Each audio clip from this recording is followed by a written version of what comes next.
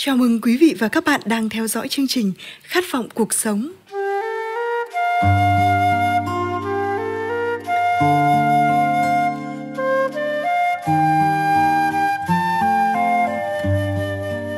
Quý vị và các bạn thân mến, từ xưa tới nay, cho dù ở phương Đông hay phương Tây, thành tính chân thật vẫn luôn được coi là một loại đức tính tốt đẹp trong hành trình của nhân sinh, người ta có thể mất đi một số lợi ích vật chất khi họ hành xử một cách thành tín và chân thật.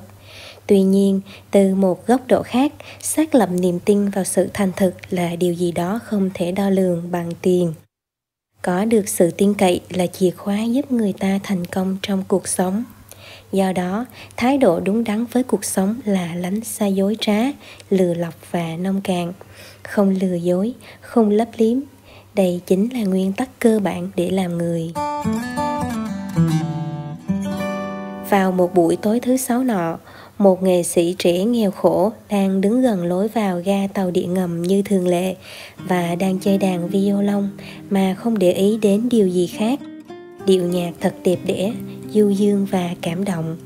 Mặc dù người ta đang hối hả trở về nhà vào cuối tuần, nhiều người vẫn không kìm được ngoài việc rảo bước chậm lại khi đi ngang qua đó.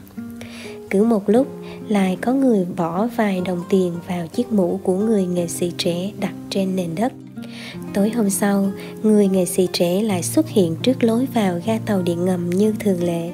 Anh cởi chiếc mũ trên đầu và đặt nó lên sàn. Điều khác so với lần trước là anh lấy ra một tờ báo lớn trong túi sách và cũng cẩn thận đặt nó lên sàn anh đặt lên tờ báo vài viên đá nhỏ mà anh mang theo. Sau khi sắp đặt mọi thứ xong xuôi, anh chuyển sang chiếc đàn violon và chơi nó. Tiếng nhạc lần này nghe còn cảm động và du dương hơn trước đó nữa. Không lâu sau, một đám đông tụ tập xung quanh chàng nghệ sĩ violon trẻ tuổi. Người ta bị thu hút bởi những chữ lớn viết trên tờ báo đặt trên sàn.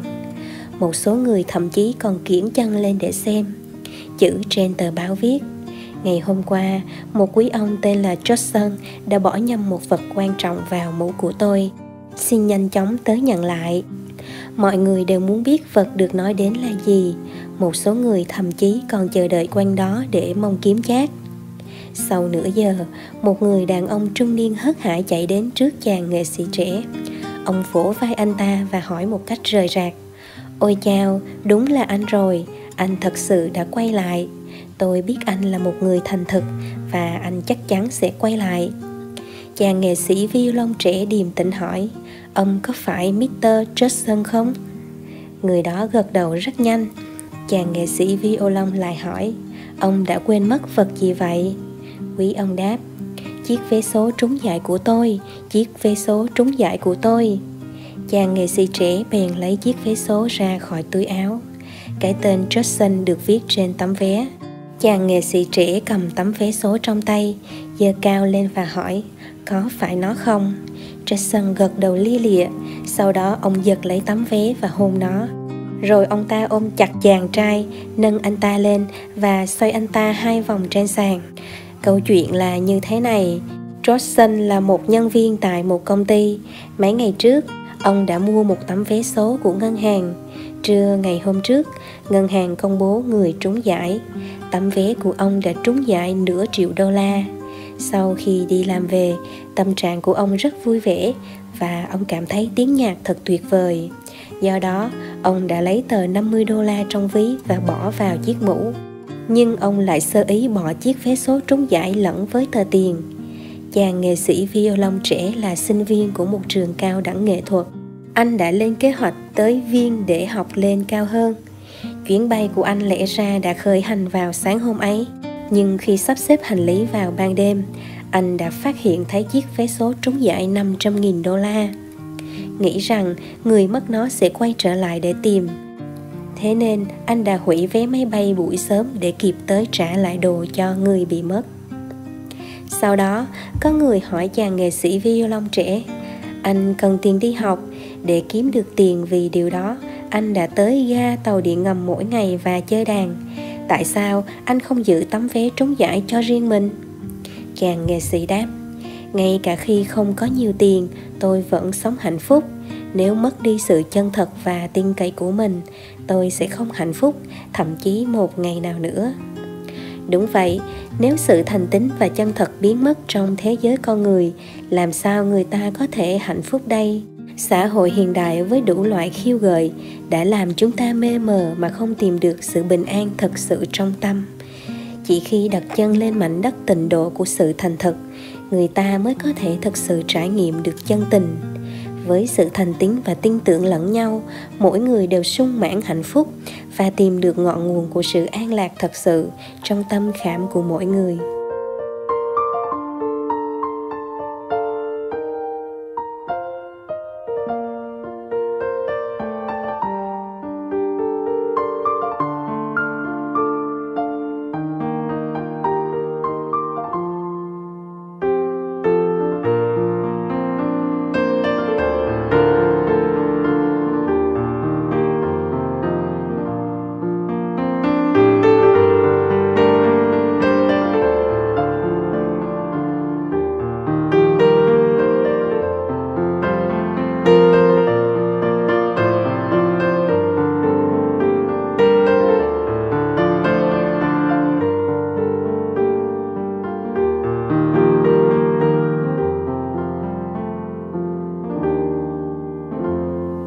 Quý vị và các bạn thân mến, Chữ tín là nguyên tắc căn bản của việc kinh doanh từ xưa đến nay. Các doanh nhân đã trở nên giàu có phải giữ chữ tín, giữ thanh danh và lòng chân thật như là những phần quan trọng của các nguyên lý kinh doanh.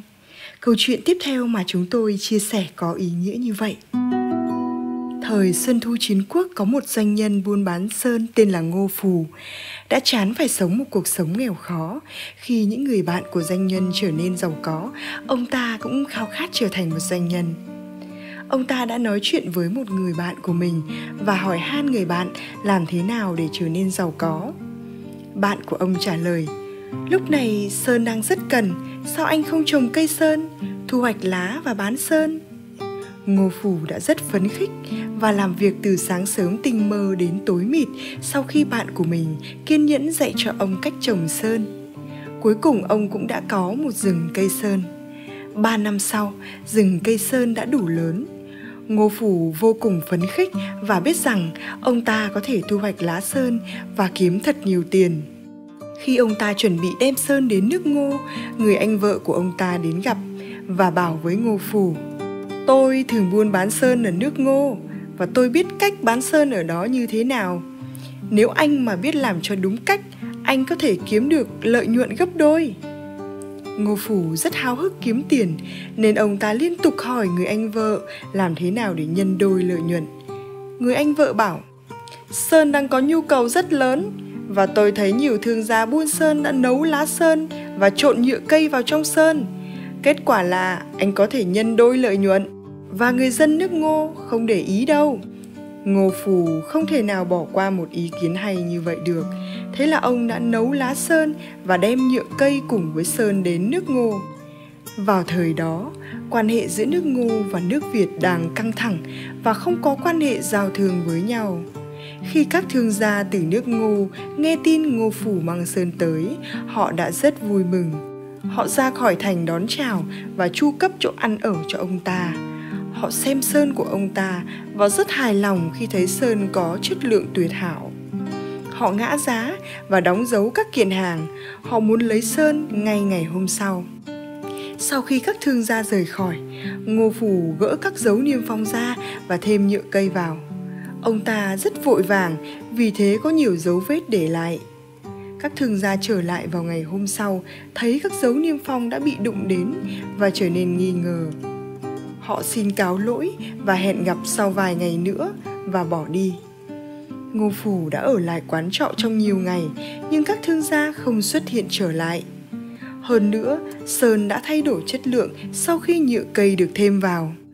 Kết quả là ngô phủ đã không thể bán được sơn dù chỉ là một chút ít các doanh nhân nước ngô khi nghe nói về chuyện của ngô phủ thì đều bảo, để là một doanh nhân, anh phải có chữ tín và lòng chân thật và anh không thể lừa gạt người ta không ai cảm thấy thương hại anh bởi vì anh đã tự mang khổ ải đến cho bản thân mình ngô phù không thể trở về nhà bởi vì ông ta không còn chút tiền nào. Ông ta trở thành một người ăn xin và thường bị người ta cười nhạo. Cuối cùng, ông đã chết một cách bần cùng và tủi nhục ở nước ngô. Bất kỳ một công việc, một cá nhân hay một tổ chức nào đó thì sự thành tín, chân thật đều rất quan trọng. Người ta nói, một lần mất tín, vạn lần mất tin có khi chúng ta cũng chỉ có duy nhất một lần được thể hiện sự thành tín ấy nếu không nắm chắc cơ hội thì cơ hội ấy sẽ vụt bay mà không trở lại nữa thành tín mới được bền lâu. Thành tín mới thu phục được lòng người. Thành tín mang lại phúc báo lớn. Còn đi ngược lại với thành tín chính là sự giả dối. Sự giả dối là cái ác, cái bất thiện.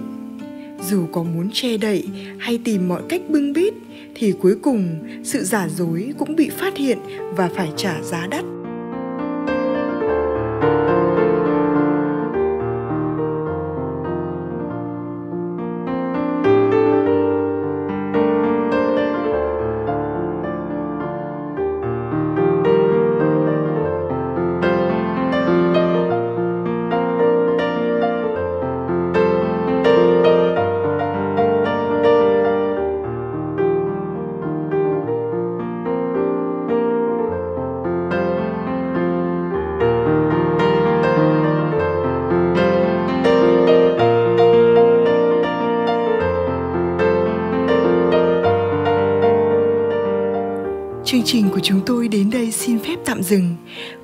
Các bạn đừng quên truy cập trang Facebook và YouTube Khát vọng cuộc sống để chia sẻ các video cho người thân và bạn bè.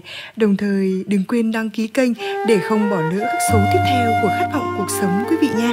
Hẹn gặp lại quý vị và các bạn trong các chương trình tiếp theo.